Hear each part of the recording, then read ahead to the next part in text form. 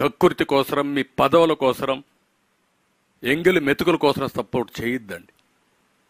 మంచిది కాదు ఇది రాజకీయ విదేశాలు విద్వేషాలు వేరే విభేదాలు వేరే ఇలాంటి దుర్మార్గులను సపోర్ట్ చేస్తే పాముకు పాలు పోసి పెంచారు. పెంచిన తర్వాత కాటేస్తా ఉంది. ఇంకా కూడా మీరు పంచం చేరితే మాత్రం చాలా ప్రమాదం ఉంటుంది. ఈ రాష్ట్రాన్ని కాపాడుకోవడానికి ప్రతి ఒక్కరు ముందుకు రావాల్సిందిగా అందరినీ కోరుతాను. థ్యాంక్ యూ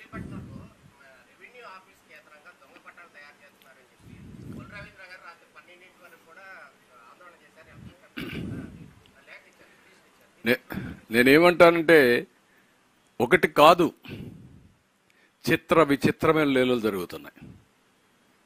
దొంగ పట్టాలు తయారు చేస్తారు దొంగ రికార్డులు తయారు చేస్తారు ఉన్న ఆస్తులు లేవని చూపిస్తారు లేని ఆస్తులు వచ్చినట్టు చూపిస్తారు. దానికి మళ్ళా అబద్ధాలు బొంకి వేరే వాళ్ళ మీద నెపాలు పెడతారు వాళ్ళని అరెస్ట్ చేస్తారు. అవే జరగబోతున్నాయి. నిన్న కూడా నేను చూస్తున్నా ఈరోజు వివేకానందుడి భార్య సౌభాగ్యం ఒక విషయం అడిగింది. మానవత్వం ఉండే మనందరం ఆలోచించుకోవాలి.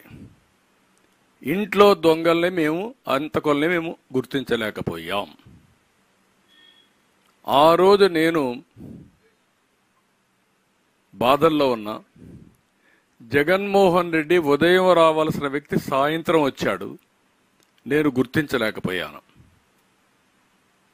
ఉదయం ఆయన ఎలక్షన్ సీజన్. హెలికాప్టర్లు ఉన్నాయి ఫ్లైట్లు ఉన్నాయి. హెలికాప్టర్ ఎక్కితే నేరుగా కడపలో దిగచ్చు అర్ధ గంట గంటలో బాబాయ్ హత్య జరుగుంటే జన అనేది అక్కడ పోవచ్చు. ఉదయం నుంచి రాకుండా సాయంత్రం రోడ్ జర్నీలో వచ్చాడు. వచ్చిన తర్వాత నాటకాలన్నీ ముందు గుండుపోటు అవన్నీ మార్చేసి చెప్పేశారు. తర్వాత ఆవిడ చెప్పింది క్లియర్గా ఎప్పుడైతే మేము కోర్టుకు పోయి పోవాలి మనం సిబిఐ వేయాలి అని మేము అడిగాం.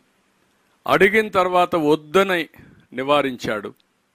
అప్పుడు మా అనుమానం బలపడింది. ఇప్పుడు నాకు అవ- ఇది లేదు. భాస్కర్ రెడ్డిని అవినీష్ రెడ్డిని అవినాష్ రెడ్డిని కావాలని డెలివరీగా కాపాడుకున్నారు. ఇందులో జగన్మోహన్ రెడ్డి భారతి రెడ్డి భాస్కర్ రెడ్డి అవినాష్ రెడ్డి రోల్ ఉంది. కాబట్టి ఆ పార్టీకి ఓటేయొద్దండి. ఇప్పుడు నేను పోరాడుతూ ఉంటే న్యాయం కోసరం.